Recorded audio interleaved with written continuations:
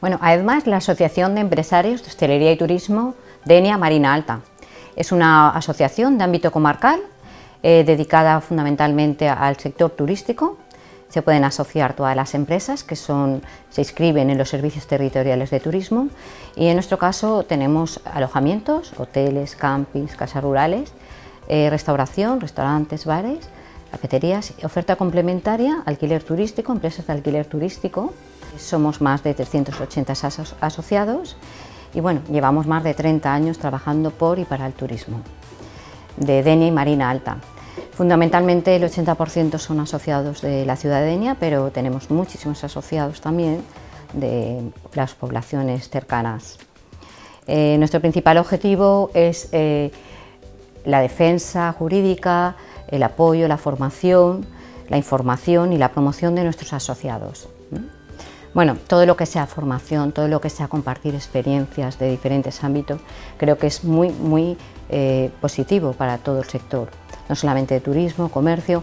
Creo que estamos una, en una comarca eminentemente turística, pero que es fundamental que funcione todo.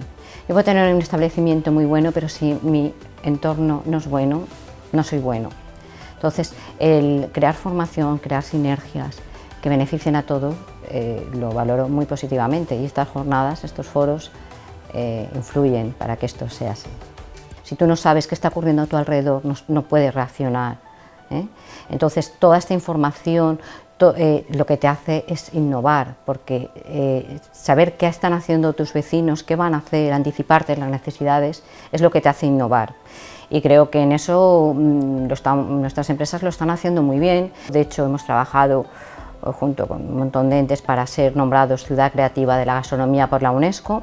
Esto nos ha puesto en el mapa del mundo porque solamente hay 18 ciudades y solamente dos de España eh, dentro de, la, de ciudades creativas de la gastronomía y esto ha hecho que todos nos espabilemos un poco, que queramos ser mejor, ¿vale? Nos han dado reconocimiento porque lo hemos hecho bien, pero es que hay que hacerlo mejor. ¿Y, cómo hemos innovado? Pues mm, quizás recuperando recetas, recuperando tradición, recuperando producto.